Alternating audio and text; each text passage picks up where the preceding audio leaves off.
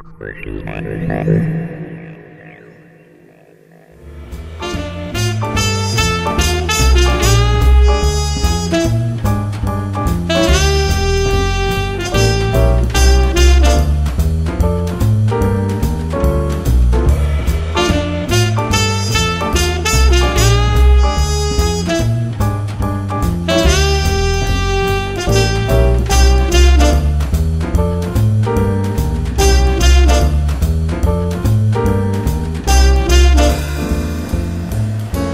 it going? Uh, we're interviewing some students here at Bernalillo High School, uh, asking them about STEM, science, technology, engineering, and math. So uh, let's go do it. All right, here we go. what does STEM mean to you? like in math, Do you know what STEM is? um, on a planet. No, it's uh, the acronym for science, technology, Oh. engineering, and math. All right, buddy. Um, do you know about STEM? You don't know what STEM is? STEM is science, technology, engineering, and math. You guys know about STEM? No. No. no. Oh, Lucia? Hi, Lucas. What do you know about STEM? what kind of STEM? Like, it's it's an acronym for science, technology, engineering. I don't know math. nothing about STEM. You don't know nothing about STEM. Hey, what up, Edgar? Hey, what's Hold up? it right there. All right.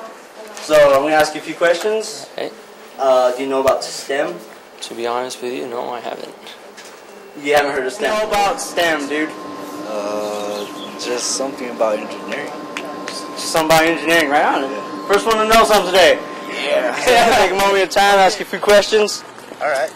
All right. Uh, what does STEM mean to you? STEM is in what category? STEM is uh, the acronym for science, technology, engineering, and math. All right, hey there, Mr. Brook. What? Um, I don't know anything else. Yeah. I was gonna ask you anything about STEM, but Okay. okay. What do you know about STEM?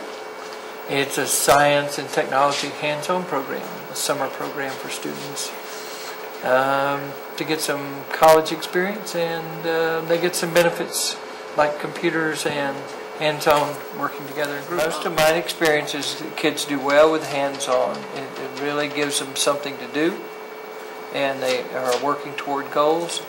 And as our economy and requires us a lot of people to work together as teams, everything that they can learn ahead of time to prepare them for that is positive.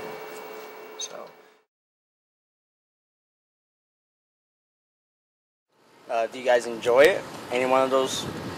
Do you enjoy science, technology? I used to until Yeah. it got boring.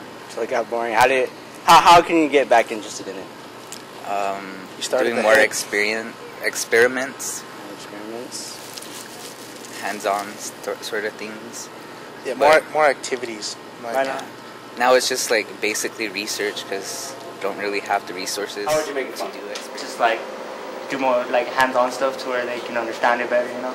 Right on. Yeah, more hands-on. Can you? Mm, hand, doing things hands-on.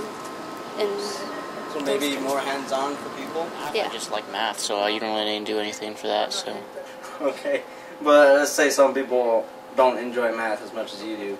What would you have the idea from making it fun for them? um, find a way to relate it to them. I mean, find something that they're interested in, and then apply math to that, which they're interested in. Okay. More activities, more outdoor goings, just more field trips. Yeah, yeah, yeah. All right, everyone likes a field trip. How Okay, would you good. make that more fun for Well, I enjoy it. Mm, most probable, get everyone involved in it. get people involved? Yeah, show them how good of a job it is. I mean, technology is the best thing there is. Right on.